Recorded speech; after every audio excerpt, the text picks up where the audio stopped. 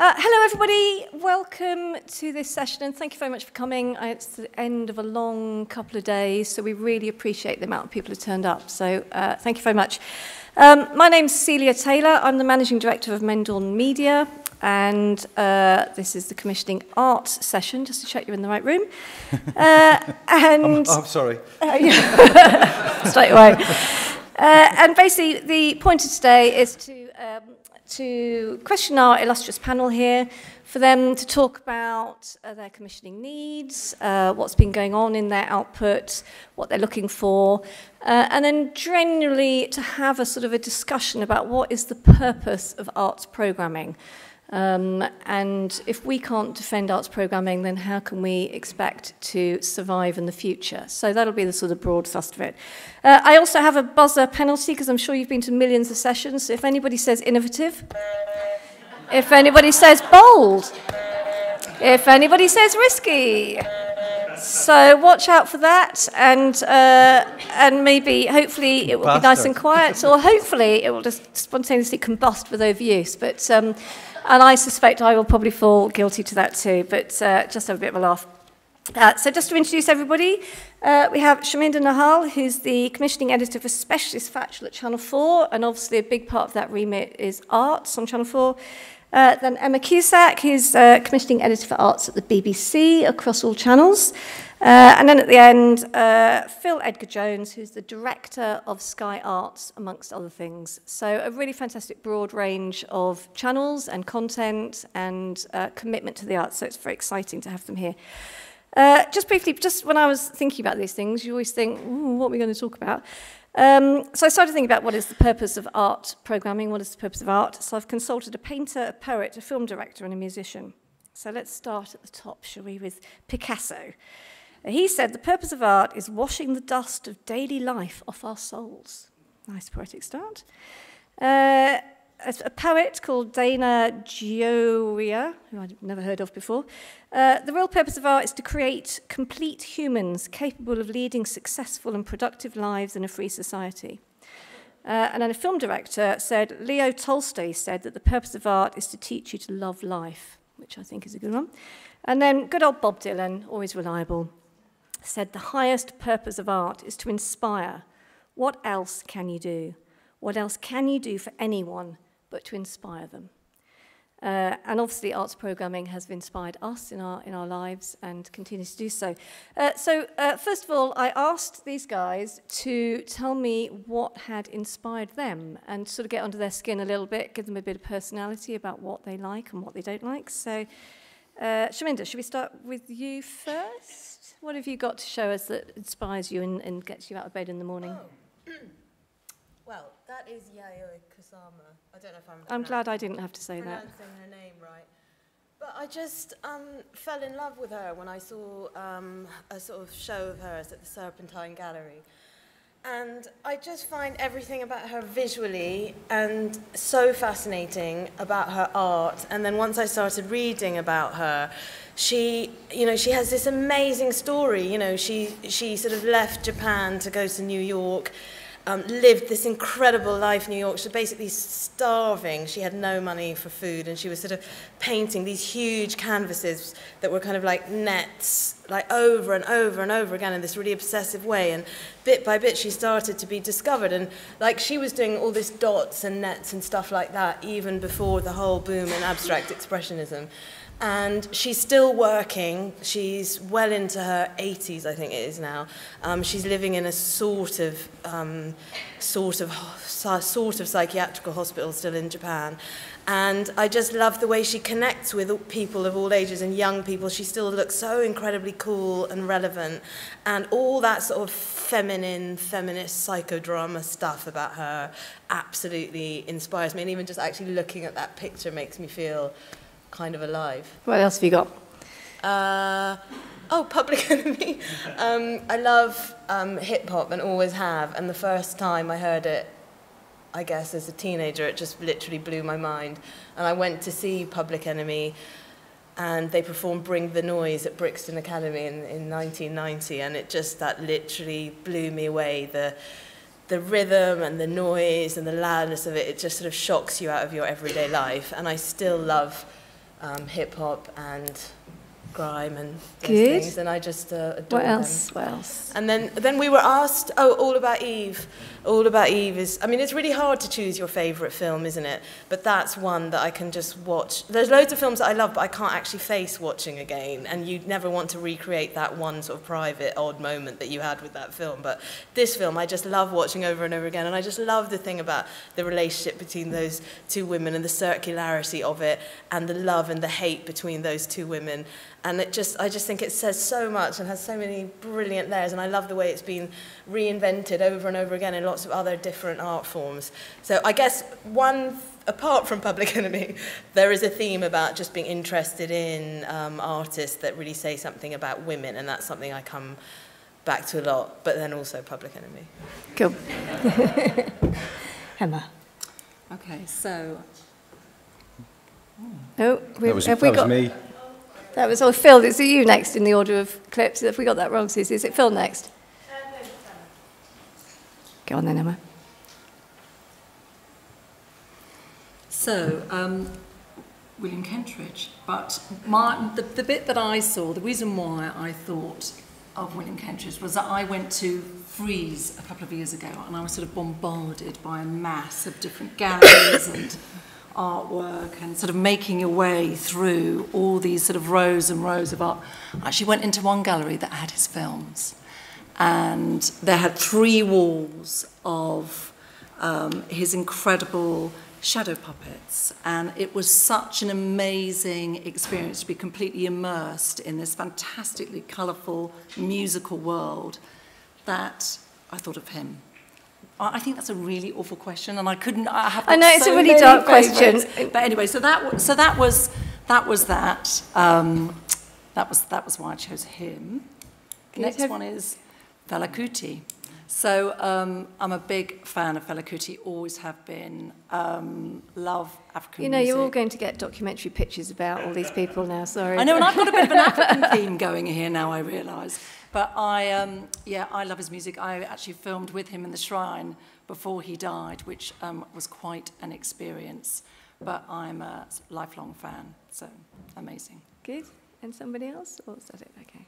The Lives of Others. Fantastic film. Absolutely brilliant about sort of betrayal and hope and humanity. I just thought it was one of those films that you feel utterly gutted by the end of it. It sort of moved me completely.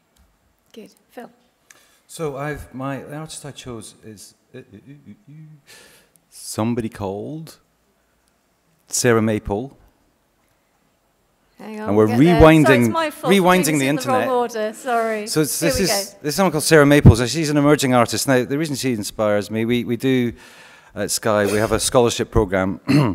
Where we sponsor five young artists across various uh, genres and disciplines uh, for a year, and we give them a bursary of thirty thousand pounds, and they uh, spend a year off creating their art. And we see loads of people, obviously, and loads of people apply. And Sarah was just somebody that completely stood out. And it's a, it's a story of, for me, of, of kind of artistic resilience in some respects. She was, she started plying her trade as an artist when she came out of art school. She, she's a young mixed race uh, Muslim uh, uh, woman. I can't remember if, where she's from, Celia. Actually, Reading, isn't it? She's, Something. Uh, like uh, no. Um, oh God. Crawley. Crawley. Crawley. And she'd, she'd given up, um, so her, her art is quite provocative. It talks about feminism, it talks about uh, being a young mu- Muslim woman in, in the UK. And she'd had an exhibition and she got lots of uh, terrible sort of trolling on the internet and bricks through her studio window. So she gave it up and went to work in a call centre. Uh, and then she saw the Sky Art Scholarships and kind of it rescued her and allowed her to start uh, creating her work again. And she's gone on to sort of greater and greater things uh, all the time, and she sells her work for quite a lot of money now. I so I wish I'd, anymore, I wish I'd bought some when it was kind of at the beginning of it. But she, she really inspires me because you know she's she's got a story to tell and she's uh, determined to tell it. Um, musically, uh, I I, you know, God, on any different day you will choose somebody or something different that, that you love and that inspires you. But I think on the particular day I got this email, I was, as usual, doing my emails in the office, but and I listen to Philip Glass when I'm doing that because it's kind of strangely hypnotic music, if anyone's familiar with it, uh, mathematical, repetitive. Um, um, I, I go to the opera a lot, and at the English National Opera, uh, there's, there's a sort of home of Philip Glass, and he comes sometimes and uh, opens up his uh, the season of his operas. I've seen them all. I talked to the orchestra about playing them. A lot of them get repetitive strain injury after playing some Philip Glass music for a while. Um, and I sort of discovered him through Bowie when I was younger, and it, he was he was kind of my entry into classical music as well. So he, he you know, that's, I sort of love rhythm. So um, in fact, I would be quite interested in a documentary about Philip Glass if there's there something specific we're looking for. we haven't done. Join the if you, queue. If you've got access, if you can do, a, if you can get a, an interview with him, all the better. That's fantastic. Yeah. And then film-wise, I again any given day, but I chose this film which I remember watching when I was very very young, and it's called A Matter of Life and Death. It's a kind of slight love story, like propaganda film. It's it's Powell and Pressburger. It was it came out uh, during the Second World War. Uh, this is story of an airman who gets shot down. He's hovering between life and death. And the, this woman who's uh, was on the radio the other, the other side of the call when he ditched his airplane in the sea, uh, falls in love with him, and they're trying to sort of uh, save him. There's lots of philosophical arguments. He goes into uh, heaven and tries to argue himself back into the into the world. I'm not explaining this very well, but it was a sumptuous. One of the things that struck me about it when I was very young was the, the sheer beauty of the imagery in the film. So every frame is like a, a portrait, is like a painting. It's beautiful. Brilliant, fantastic. Yeah, I also like the life of Brian because it's dead funny. Yeah. I, don't know, but I had put that in first. And that was- Fantastically eclectic uh, mixture of stuff there, but uh, some common themes and some completely different themes.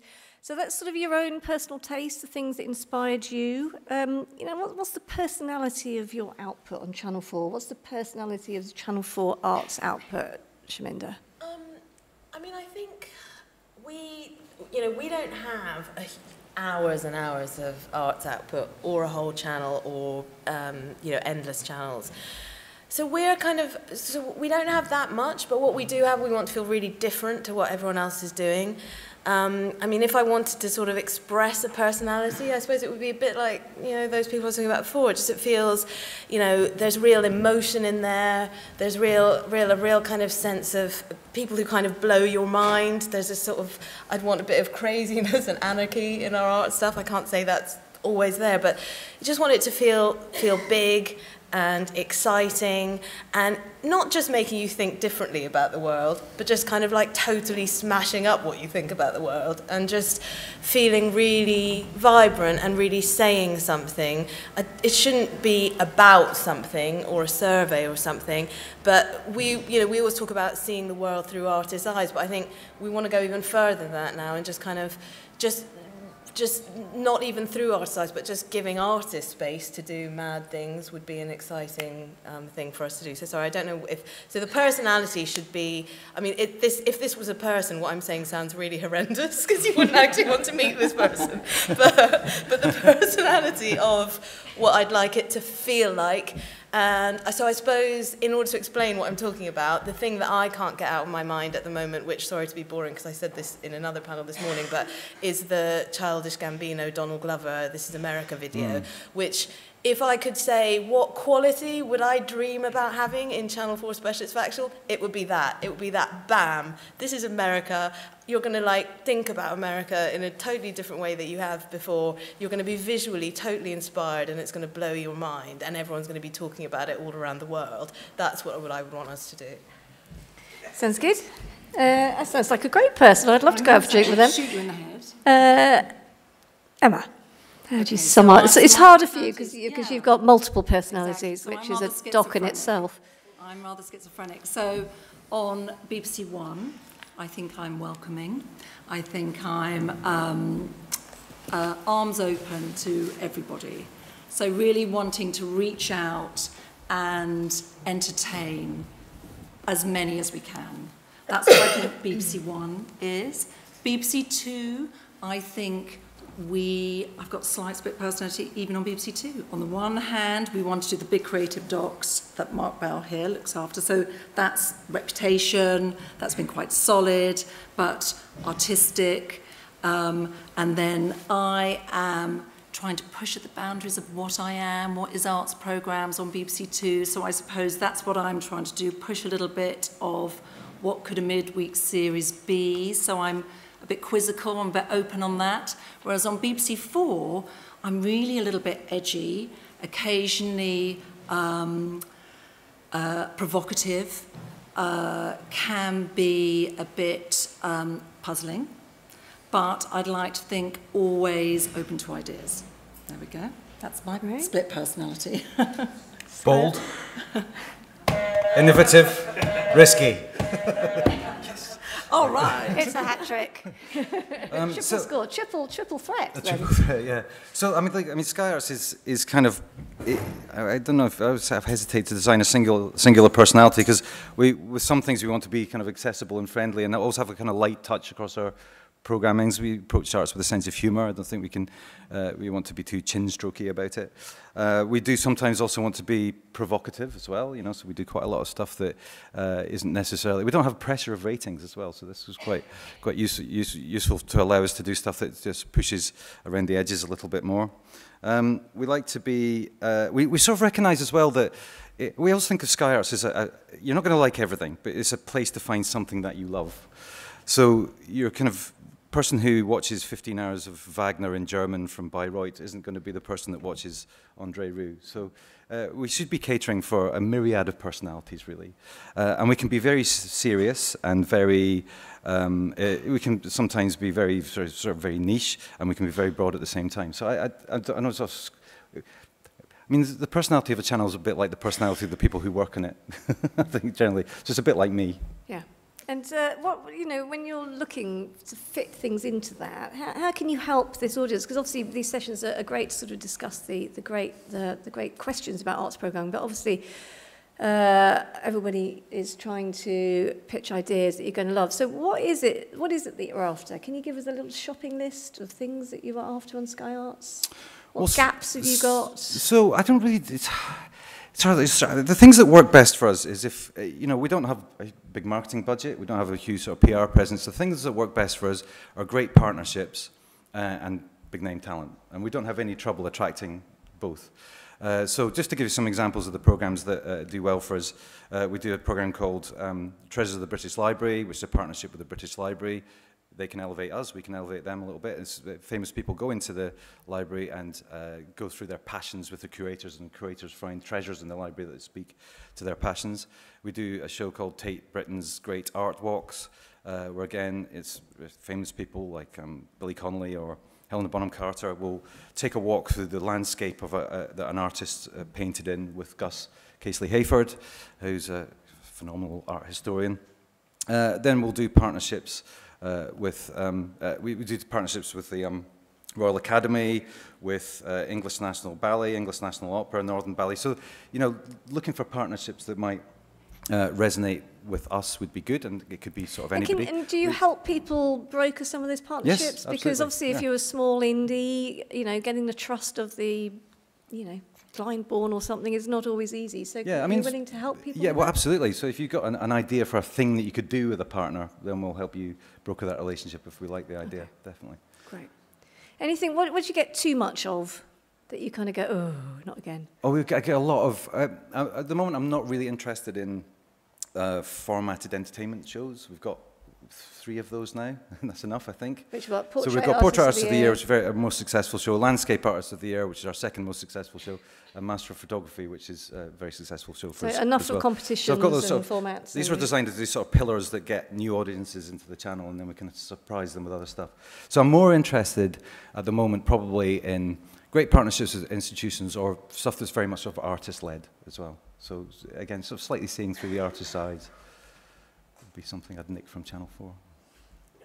What would you nick from Sky Arts, Shaminda? Um, well, Phil, obviously. uh, with his lovely personality. Um, uh, now, I can I just say I'm, I've actually had trouble even remembering what we've done on Channel Four in the last year. So you don't know what's on Sky Arts? Just say Portrait Actually, Artist of do you know what? I have been watching. Say Portrait Arts. Artist of the Year and you go, I've oh no, the BBC already no, I has have nicked watched that. that, and I really there was a um, a sort of slightly. Really unusual but very tempting French documentary um, that had a sort of Agatha Christie vibe that I watched at Christmas. You're asking me to remember this. Yes, it was so interesting. I was like, what, what was that? It was sort of like a recreation of a scene from one from an Agatha Christie film, played out by French psychiatrists, and I did not imagine this. It was real, and I thought, God, Sky Arts are so interesting, and like, totally innovative. You know, so um, I do, I do, I do like a lot of that output. But shall I, shall I Yes, say something yeah, about do. What, what are you after? Because I think, you know, it's so helpful to people to know where the, I mean, obviously you don't want to be too prescriptive, but just a sense of, you know, where the open doors are and where the shut doors are is so helpful for the audience. Okay, well, like, we hate to give out the message that we have any sort of shut doors because we're very open, open and open-minded people. but um, I suppose I've given the kind of, I've given a sense of what we're looking for, which is really kind of big, exciting, mad things that say something about Britain and the world. So that's the sort of big thing. Um, I'm quite excited about opportunities for live, for instance. I think, you know, that's one of the great and interesting, in, in a world where we've got all these, you know, on-demand channels and stuff, live feels like a really exciting thing for a terrestrial channel to be thinking about. So I'm quite interested in kind of really big, exciting propositions that might be, you know, I don't know, on a particular theme or, you know, interfering in the national conversation in some way at an exciting moment.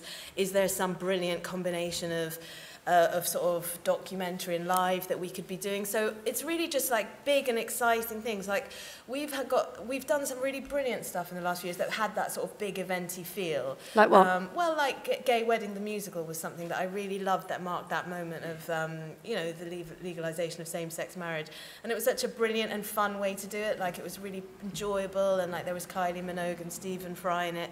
Um, so it's sort of like, but how can we sort of expand those moments and be even more ambitious and have some combination of film and live or events? So I'd love people to be really thinking big about how we do it. So live is exciting. You know, talent is obviously massive for us.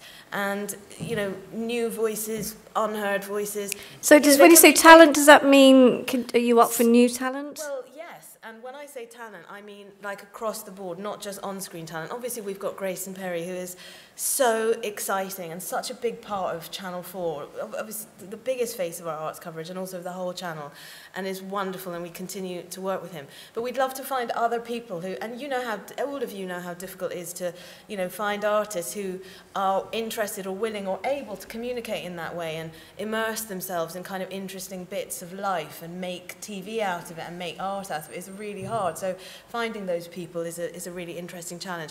But it's not even just the on-screen talent. You you know, we're excited about finding brilliant directing talent, brilliant producers and writers, and people who just want to make brilliant stuff that could be part of making TV for us. You know, we have, uh, we do Random Acts, which is, you know, really exciting short film strand that we've been doing for a few years now, which um, a lot of young filmmakers do. It's really exciting because a lot of those short films, there are about 200 are made a year, a lot of them are outside London.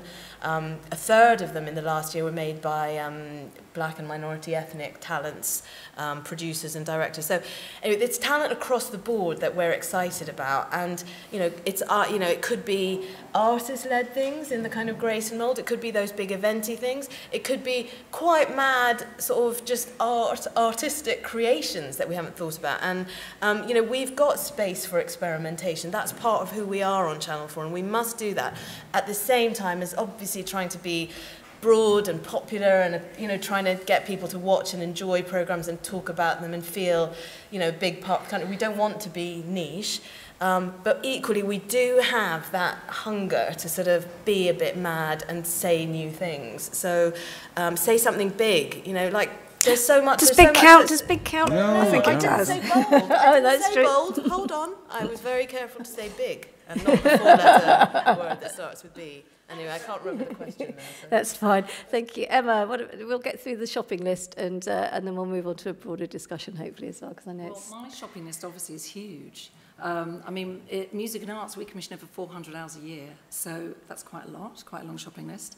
Um, but I think for arts, um, I'm going to, I could go on and on and on and fill this whole time telling you what the sort of different sorts of programs are we're looking for. But I think the main headlines really at the moment is that for, for Mark's creative docs, it's finding great directing talent and great ideas and telling stories in a really fresh way um, that really uh, are a chance for the filmmaker to be artist as much as the subject. So I think that's, you know, I think that's a real, we're really looking for that. Mark is really looking for that. For, for me, I think both, um, and it's the same on two and four really, for Mark and for myself, what I'm looking for is really trying to do arts programs in a different way.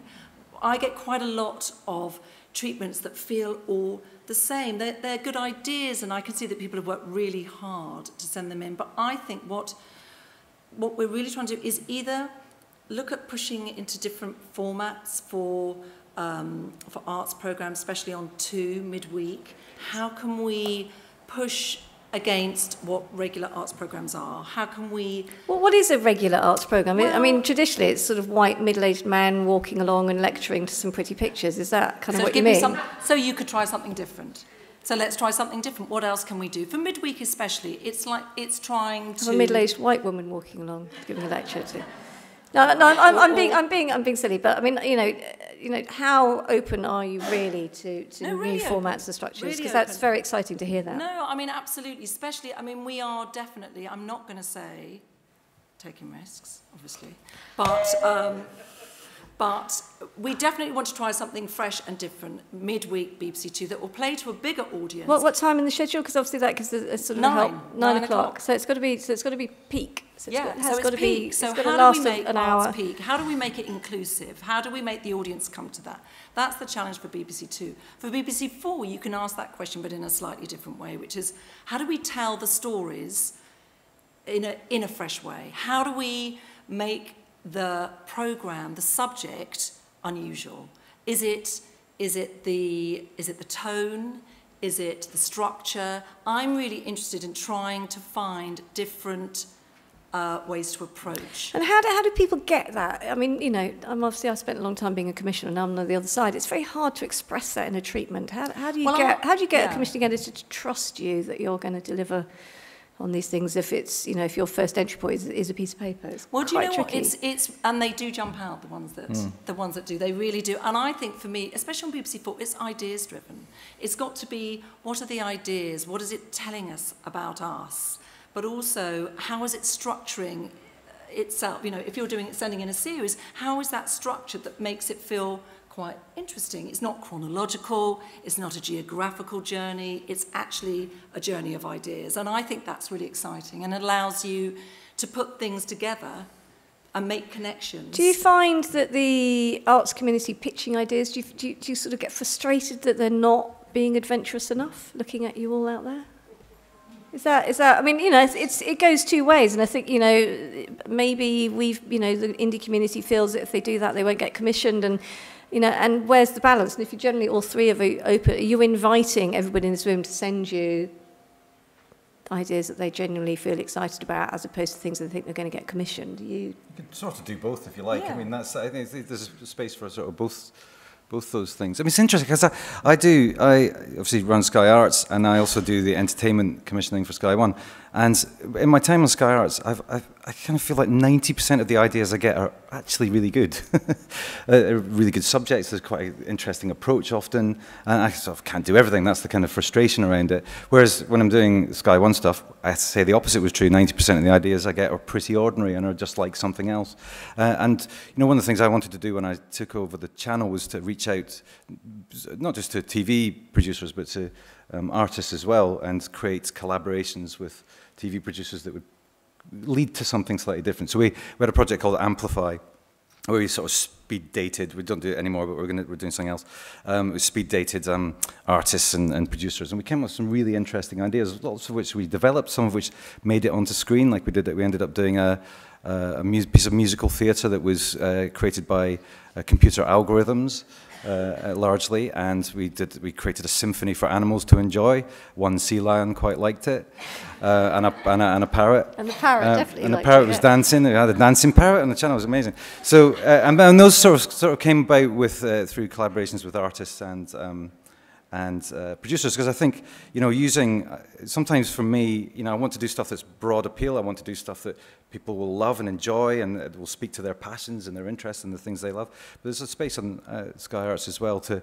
Uh, to use television as, a, as an art form and do something slightly different with it as well, and I don't think I get enough of that actually, uh, and that'd be that's always going to be Sam, interesting. Sh- Shaminder, you're nodding. Uh, we've, we've, we asked well, I you... was done because I was actually feeling so guilty about not being able to name more Sky Arts programs that I've just remembered two more that I really love. All the ones I can remember as well. like Picasso Live. I Oh, yes, yeah, interesting. yeah. And also this amazing series about rock and roll that was all about emotions. Oh, it was fantastic, That was, like, yeah. really felt very different. Yeah. I commissioned And so this. I can actually now remember quite a few of their programs. Like I could. It was all Celia's BBC idea. programs as well.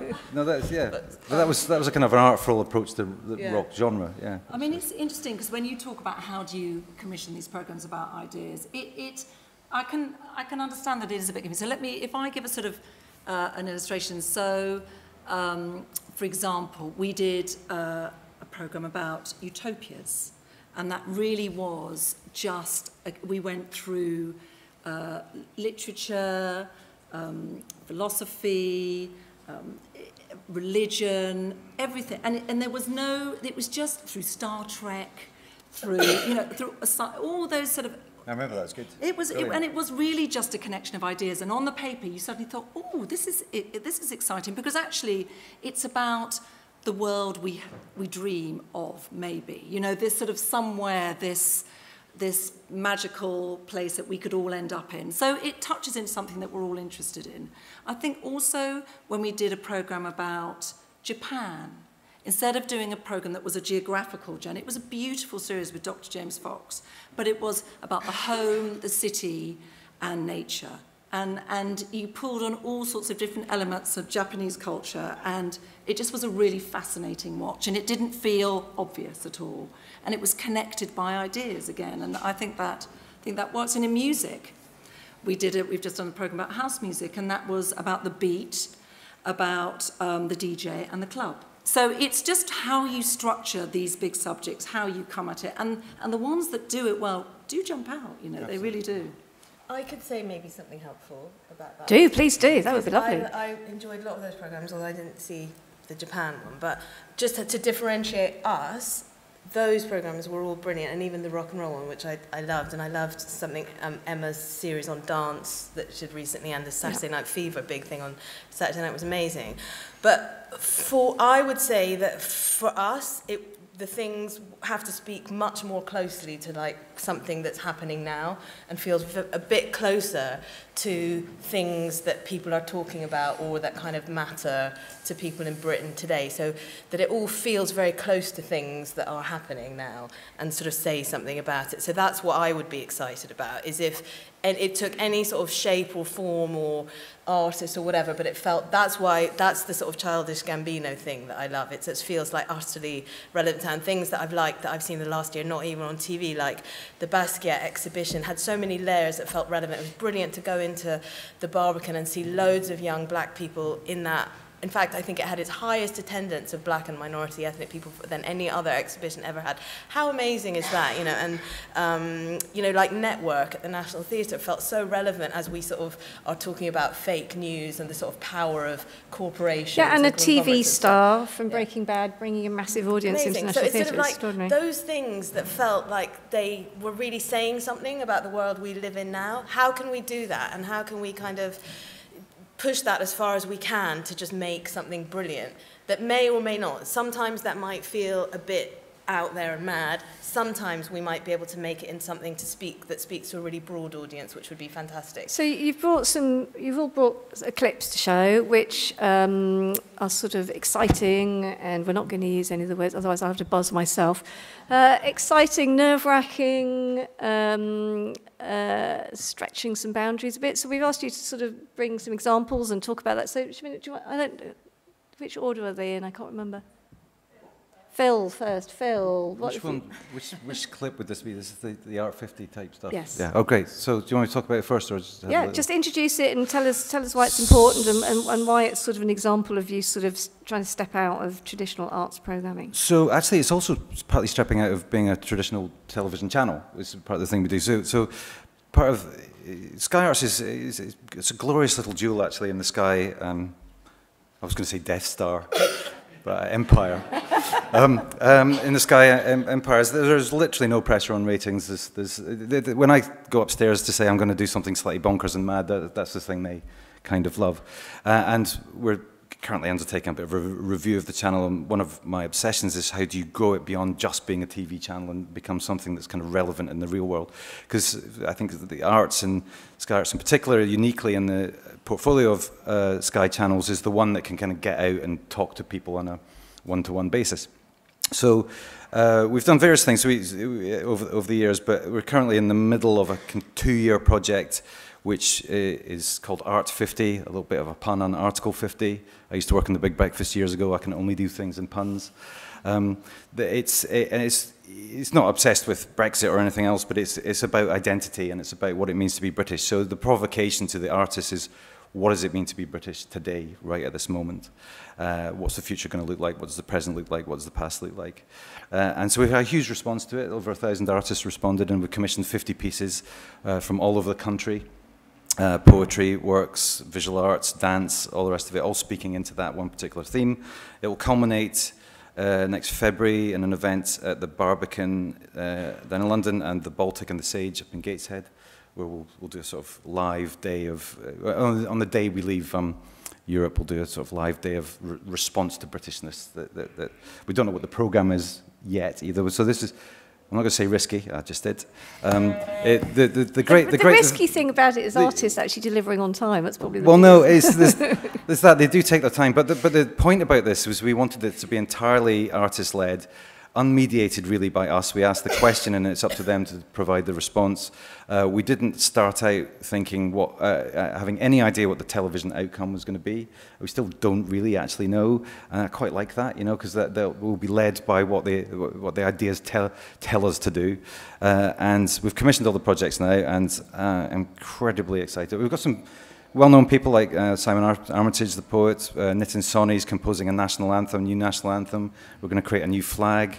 Um, Lemn Sissay's done a, uh, a new constitution that's going, or a constitution rather, that's going to uh, sit in uh, Salisbury Cathedral uh, for a while. And um, oh gosh, we've got so, so much. John Godber did a play up in Hull. Uh, called I can't remember what it was called actually, but it was it was about a couple who were on different sides of the Brexit divide. But the, the whole point of this is about um, you, know, are we a nation? What's how are we as a nation divided, and how are we united? And, and have you got, have you got a clip? I've got a clip. I'll stop waffling um, and show the clip.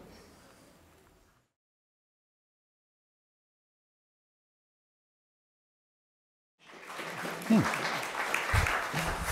It's very nice to have a bit of applause. I love Yeah, it looks fantastic. I'm very excited about this because it's, it's again it's about new voices and, and you know I think part of our job is to support the creative community and, and, and some find some new people with new things to say.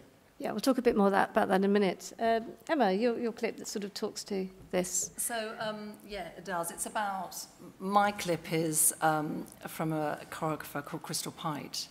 Um, it's uh, one of her pieces called Betroffenheit. Now, you'll see it in a minute, but I'm going to give you a bit of context. Basically, we also have, um, we do have um, something called Artists First, which is where we put the artists in control of their commission. So we've done quite a lot with um, artists, visual artists, um, video artists, Rachel Maclean, um, uh, Mark's looked after, Michael Clark, I worked with him to try, and he did his his uh, performance. That was quite a challenge, um, but we got there. And it's about if you give the artists and you let them use television as their canvas, what would they do?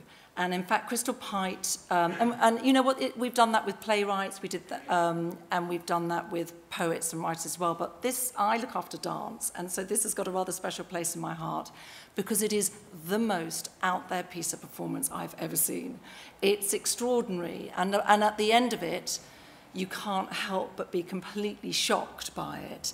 And I saw it when it first came to London, and. Um, and then I was sort of raving about it. And I said, listen, she's coming back. We've got to do it. I can speak to her. We must do this piece. It's just incredible. Um, and I spoke to her and she agreed to let us do it. Um, and I actually forgot that the first 10 minutes is practically black. So on television, I sat there watching it the second year going, oh my God, the first 10 minutes is black. We can't see anything.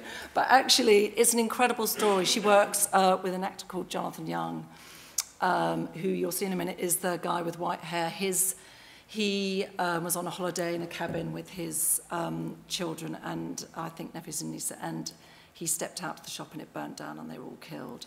And he went into um, serious decline and became a drug addict. And she worked with him to create this piece of dance that would help him uh, rehabilitate, and it did. And it's just the most extraordinary piece. But it is really out there. So as a commission, it's pretty risky because obviously we weren't.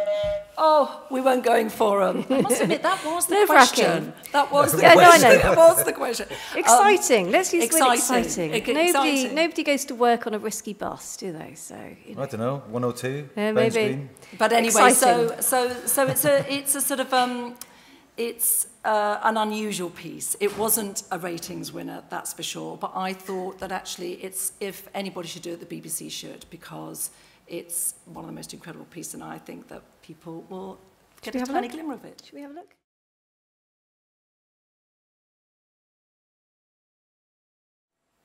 Hmm, What channel was that on?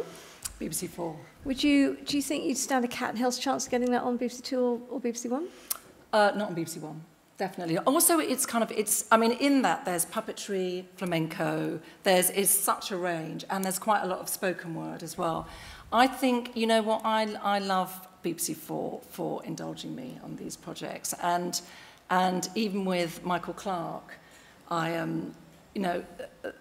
I think BBC Four should do these programs. I, I think it's perfect that it's on BBC Four because actually that's the place where you can push the boundaries push the boundaries and actually try and do things that feel a bit edgier.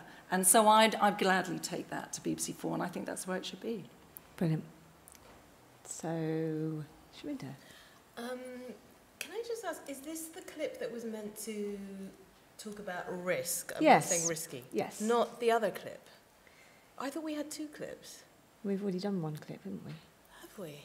No, we haven't. No, we Oh, we haven't. haven't done no, we oh. haven't. haven't. Okay. Well, this is the risky one. I've got risky a one. clip of something coming up and a clip that is meant to be about risk. But Let's do the really. risky one first now then. Yeah, this was the So risky sorry. one. But how is Sky 50 risky? That just looks brilliant. Oh, okay. Well, well, I suppose it's. Anyway, sorry, that was, maybe I wasn't. Well, I suppose I suppose. um, I, I don't think it is particularly risky, to be honest. I think it's just sort of interesting and quite bold. Is that a word? Oh, Yeah, we're not I getting can use I'm so sorry, I'm quibbling with process here in a way that's probably not very helpful. So this is a clip of something um, that sort of has been talked about as being a bit risky, um, but isn't really risky, I don't think. I think everything is a kind of risk because there's all the risk that no one will watch it. Um, Does that so- matter though? Do, do, does, it, well, does yes, it matter? of course it matters because none of us want to make something that no one watches.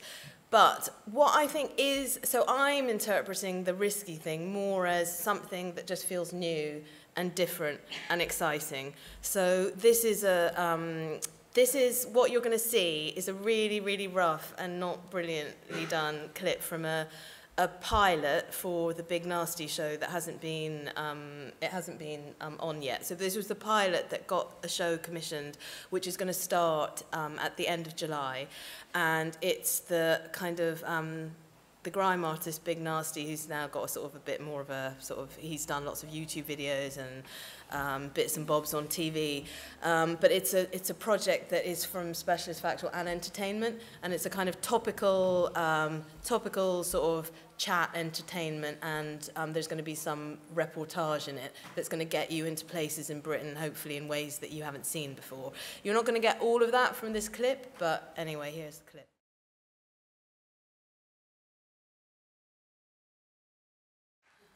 That, that doesn't look like an arts program. Dis- decipher well, that well, to us. Well, doesn't it? Well, exactly. I mean, that's- that's why I'm asking you the question. It's, it's arts and culture in the broadest sense. It's a way of looking and interpreting Britain by, a, uh, by an expert. Um, he's going to go on, on journeys around Britain showing us things we haven't seen before.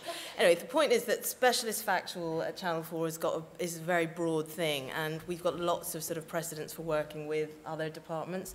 And I find it quite an exciting way. We've all been talking about grime for ages, and um, actually you had a brilliant grime documentary did, yes. generation grime which actually is another sky arts program i recently watched it was really good but this is for me we haven't done a sort of grime documentary and we've spent a lot of time thinking about how are we going to you know how should we get into that world, how do we do it in a way that doesn't feel like sort of dad dancing or something? It feels like one it's of, from one of my inside. highlights of being at Sky was getting Melvin Bragg to do a, to do a South Bank about Mm. grime, which was um, But Really it, this is from inside that Yeah. world, and this it, it's going to be quite different from that because that's obviously really rough and ready but you are going to feel like you're getting a new slightly anarchic show at 11 o'clock which is a space that our new boss Ian Katz has talked about experimentation at 11 which will be from inside Nasty and Mo Gilligan who's a brilliant talent inside their world. And I think that's really exciting and that's sort of culture to me in the broadest sense. And we are it, you know, a- a- as you might have read, you know, that sort of experimentation at 11 o'clock is one of the new things that we're trying to do on the channel. So if you've got any ideas for mad things that we should be doing at 11 o'clock, bring them, bring it on. Can I bring you a couple?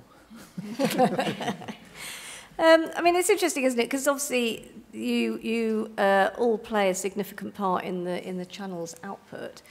Uh, and if you think about what's happening in the arts world out there, it's a, it's a massive, we've seen a huge boom in the arts uh, at a time of the toughest austerity and cuts going on.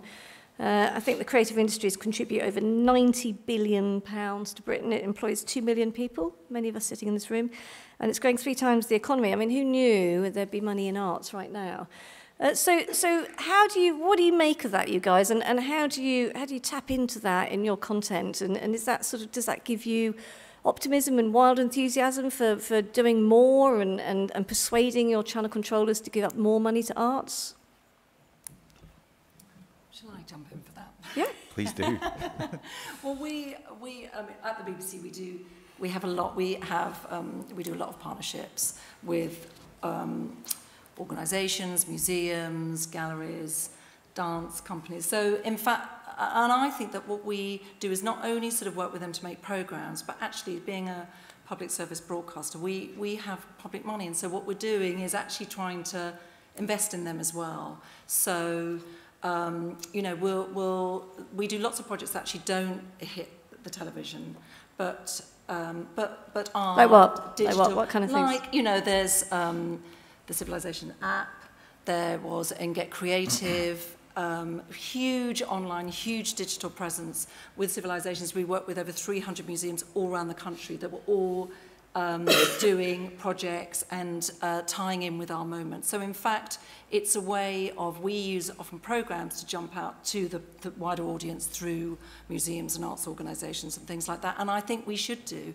And it's, it's incredibly fruitful both for us and for them. It's a sort of two-way process, but they, you know, they inform, they give us great ideas. They, um, we have meetings with museums every week, and they're people that have just fantastic ideas about things they're doing in a few years. And so it really is a two-way thing, and I think that we have to do that. We have to support each other because actually it's a much better way, especially now in this sort of digital time, is a much better, better way of, of reaching a broader audience, really. So, so we do that quite a lot.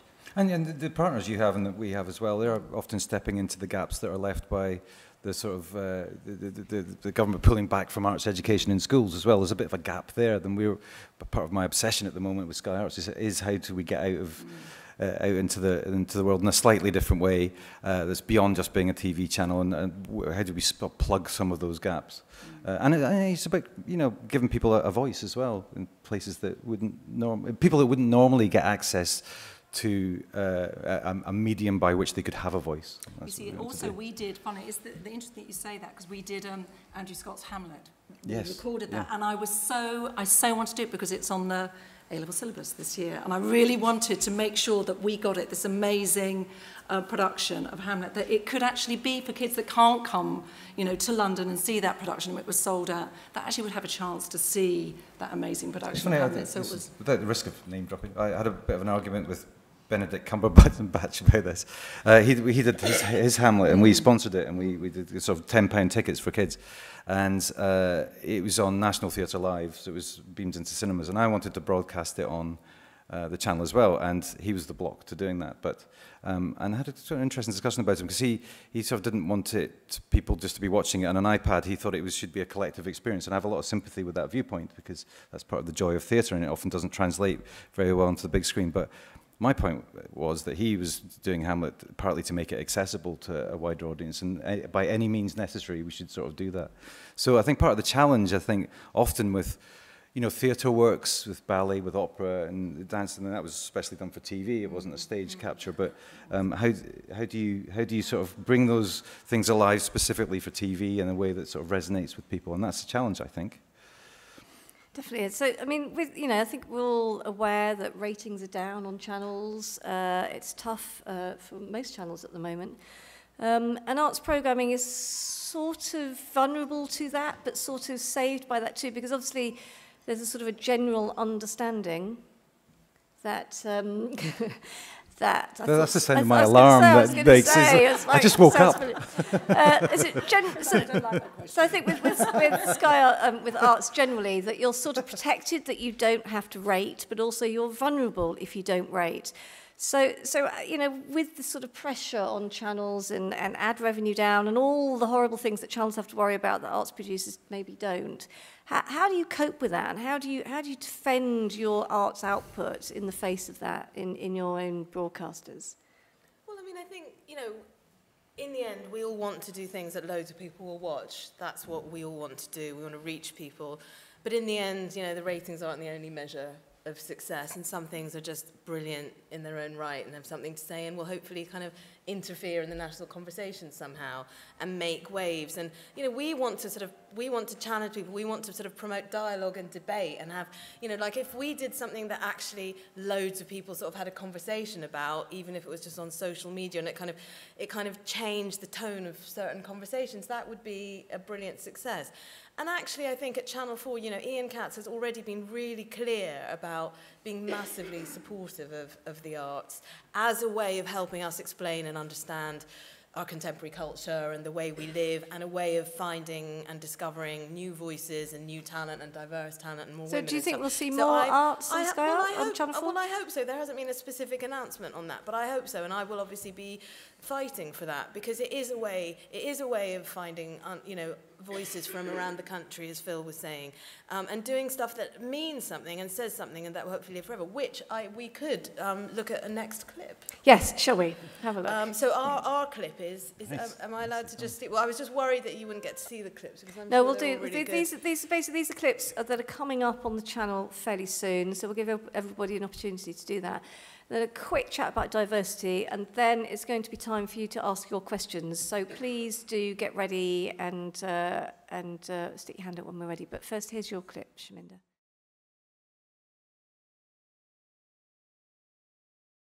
So this is this is um, this is a tiny bit. I didn't know which bit to choose from this film because I just love this film so much. In the end, just Like, just put that there because it's like funny. Um, it's Bryony Kimmings, a performance artist. This was, um, it's a series of three films um, which my glorious former colleague John Hay, who was the head of specialist factual at Channel 4, recently commissioned three films from.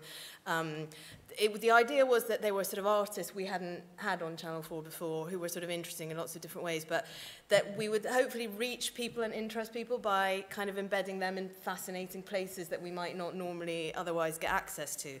So Bryony Kimmings went to Birmingham's busiest sex clinic, hung around in the sex clinic, and met three different three or four different people whose lives she then gets involved in. And of course, in amongst all the sort of conversation about vaginal warts and gonorrhea and chlamydia and all that sort of thing, it all becomes all about love and loneliness and relationships. And there's just, it's just so sort of touching and emotional and made me cry. And I suppose that's one thing in amongst all me banging on about you know, being challenging and blah, blah, blah. In the end, things that just sort of make you cry and touch you and sort of ring true on some emotional level are the things that we really remember. Which is what and, so um, much of art is supposed to do. Yeah, so I, um, that's going to that's gonna be on towards the end of um, July, and I really hope people love it. Fantastic. You've got a brilliant one as well. The Tai Shan Schierenberg, haven't you? Yeah. So these was at West Brom just as So they were getting. Tai Shan brilliant, yeah. Who to me looks like a sort of Chinese Jeremy Paxman, is really fascinating. Oil painter who is a judge on Yes. another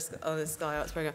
Um, he he spent he spent a year like that's a really immersive thing to. He basically spent the whole of the football season at West Brom Football Club while they were going through this amazing roller coaster of stuff. Like they two managers were sacked. They've now been relegated, sadly. But it's this amazing sort of frontline view inside the mad bubble of a, of a really great. rich So football I'm going to move you on because we've got And, two um, more two more clips to show. Uh, what would make your life easy, Susie? Okay. Emma, So here we go. mine, rather fittingly, is from Snatches. A hundred moments. Um, no, moments from women's lives over the past hundred years. Uh, not, th- we're not going to see 100 snatches now, no, are we? we're not. okay. Just wait this till my is clip. The, basically, they're But wait, Some- for some, actually, wait, wait for something on Channel 4 next year. You might well see something like that. But um, this is for part of the Hear Her season on BBC, and it's uh, a collaboration we um, Had with Vicky Featherstone of the Royal Court, and she commissioned, uh, she, she created eight monologues with writers and actors, and they are, um, every time I got a rough cut through, I'd send it through to the channel, I'd be like, remember, unflinching, uncompromising. They are really hard-hitting, powerful, but absolutely brilliant, so. Here we go.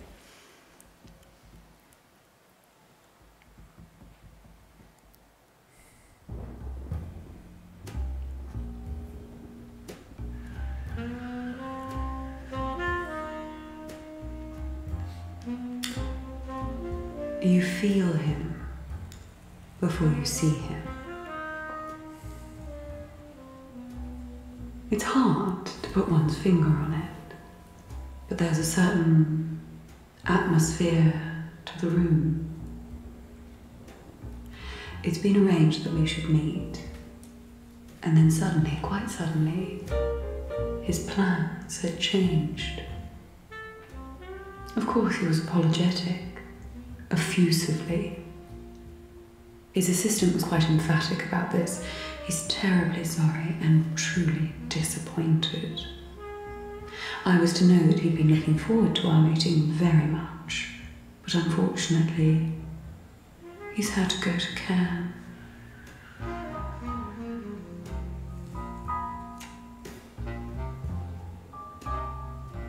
Third time he cancelled. I began to see that there was a method to his behaviour. It's not what you want to hear, but he's a clever, clever man. So uh, there are eight different stories, and um, I really wanted to, to, for the arts contribution to this season to be really quite provocative and hard-hitting. And um, They cover all sorts of different things. You have sexual liberation, a woman having her orgasm, her first orgasm. You have the woman who actually um, uh, challenged the um, expert who about multiple cot deaths Um, you have Indian protest fighter. There's a whole range of these 15-minute films, eight, eight of them, and they are just incredibly powerful. And we wanted to do something. When, when they on? When, when can we Next see them? Next week. Next week. Okay. Next week. Brilliant. I'm sorry to cut you off because we've been running out of time, and I do want some question time. So, Phil. So, uh, nothing sexy about this clip. I don't think it's Ronnie Wood. Um, so we've got um, we got uh, we do quite a lot of rock and roll on the channel. One one thing I should say about Sky Arts is we do kind of attract quite a, a bit of an older audience, and we're quite happy with that. Um, and so uh, our rock and roll heritage is quite important to us. Uh, the rock and roll series uh, was mentioned previously as one of those things. Uh, we work with Brian Johnson from ACDC. Uh, Ian from something else over there uh, makes that brilliant series for us where Brian Johnson goes around the, the world interviewing uh, crusty old rock stars uh, and Dolly Parton. And um, this is a this is another artist in residence show, I'm afraid, but um, it's absolutely brilliant. And it's Ronnie Wood embedding himself in various institutions, and he's quite an accomplished painter, so he paints what he sees. He does a bit of a Monet and things. So this is a little clip of him with Paco Pena, I think, isn't it? So.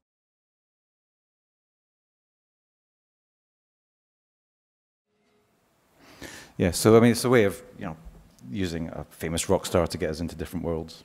It's quite Brilliant. effective. Amazing clips. It's just uh, it started off with a quote about inspiring people, and and I think all the all the things you've shown and talked to us about has been really inspiring, and I feel really invigorated by it. So thank you very much. Um, do we have questions from the floor in the last five minutes? Yes. Hello.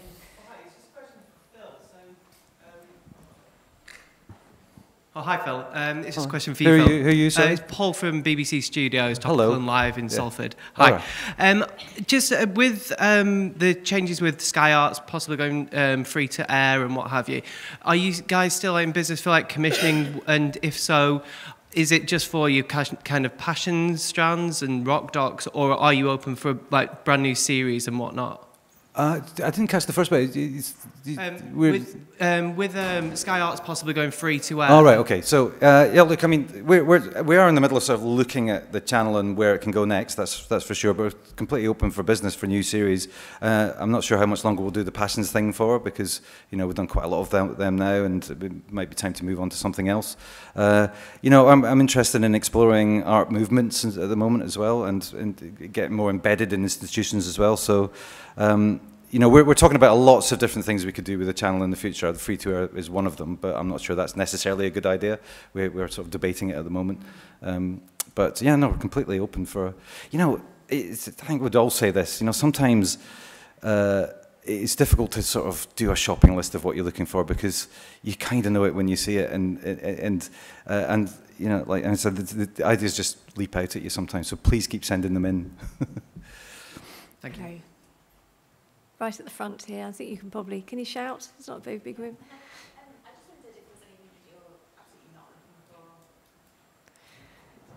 And what you're not looking for, people. Have you got enough music docs? Have you got enough, um, you know, dance? You- Can you be broad as Just, that? just nothing sort of boring. I mean, just. I- I Don't be I boring. don't want- 'Cause At this time of the day, I don't know if I can intellectualize. So I think, prob- you know, But, prob- um, probably boring is, is a lecture. Probably boring is a, a lecture with accompanying Not- not like- pictures. not you know, not necessarily- depending on who's giving the lecture, but you know, a traditional arts program is not, probably. sur- not sort of surveys about things, not things about things necessarily, you know. But I just hate putting boundaries on it because in the end, like Phil mm. was saying, we all just want to be surprised. And you could come up, I say, oh, it shouldn't be like about a survey of a period or something, and you could come up with the maddest thing about surrealism that anyone's ever heard of or something. So I just hope that what I've said about the kind of things we would be excited about, you know, how we want to be surprised, and it might be so out there that you don't even know how to make it. What is it that you want to make? I think that's. Or you don't even know how to, but you've got half an idea that is so mind blowing that you just want to talk about it.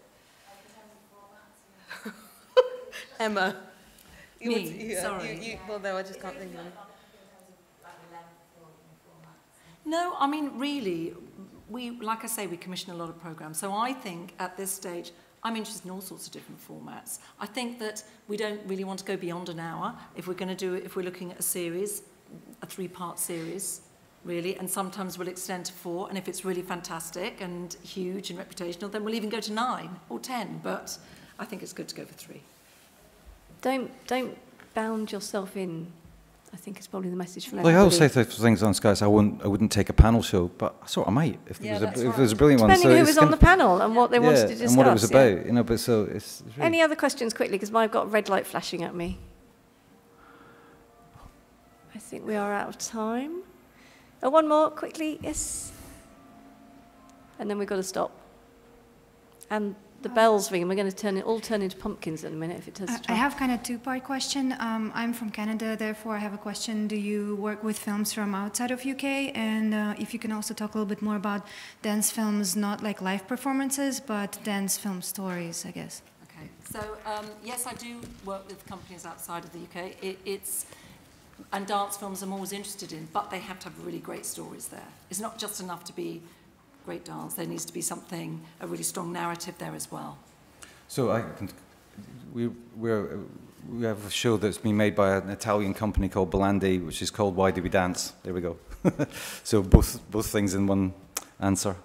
Uh, and it's a kind of uh, uh, exploration of the history of dance, but asking the question, why and do we dance? just quickly, do you do you all have acquisition arts acquisition strategies? Is that another way for people to come and bring arts ideas to you? Yeah, gotcha. Actually, we do a lot of pre-buys. Yeah. We'll do a lot of. Uh, we'll help. So there's uh, fully fund- acquisitions, probably pre-sales. There's a whole range. So should they? But should they? Uh, if anybody's got something like that, they should go through your acquisition team or come to you. Uh, Probably come to us first Yeah. and then we put them. Okay, Yeah. we can help you out. Yeah. Right, we're really out of time. Uh, I'd just like to say thank you so much to Shaminder, Phil, and Emma for giving their time and being so generous. And uh, and thank you very much for your time. Have a great festival.